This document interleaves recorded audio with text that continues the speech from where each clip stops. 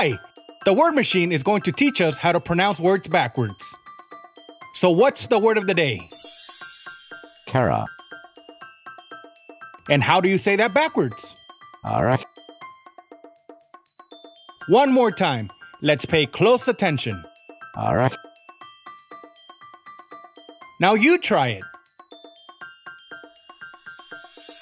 Great job! Make sure you practice and don't forget to give us a thumbs up.